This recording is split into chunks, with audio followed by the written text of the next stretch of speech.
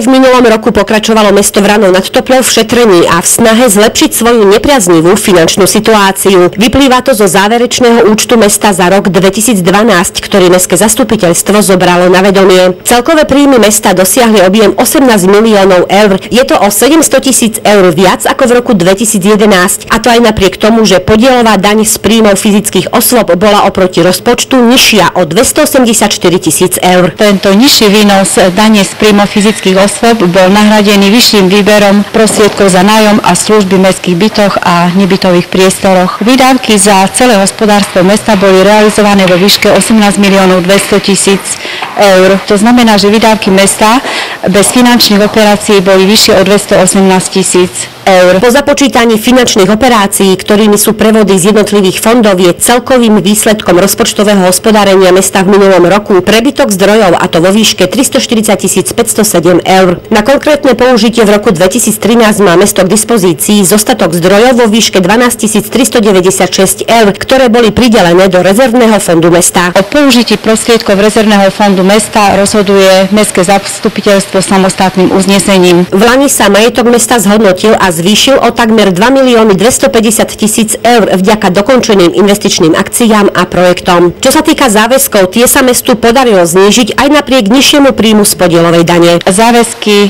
oproti roku 2011 boli znížené o takmer 1 300 tisíc eur. Znížili sa aj záväzky mesta voči dodávateľom o vyše milión eur. Úverová angažovanosť mesta bola ku koncu minulého roka vo výške 32,78%, pričom zákonom daná hranica je 60%. To, že minuloročné hospodárenie mesta skončilo v plusových číslach a znížili sa aj záväzky mesta, je podľa poslaneckého zboru, finančnej komisie a primátora mesta najväčšie pozitívum. V podstate od začiatku, kedy sme nastúpili ako nové zastupiteľstvo a ako predseda finančnej komisie, tak som sa zasadzoval za to, aby sme čo najskôr skonsolidovali mestské financie. Myslím, myslím, že sa nám to dosť markantne podarilo.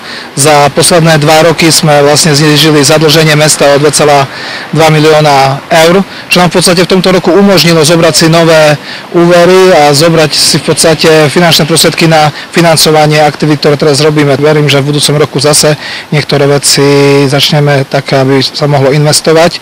Preto som aj dneska vlastne dal na zastupiteľstvo ten návrh, aby mesto už si vyžiadalo ponuky na zotovenie e, ľadovej plochy, lebo ten zimný štadión tu chýba. Najväčším pozitívom eh, hospodárenia v roku 2012 je to, že sa nám podarilo znižiť záväzky.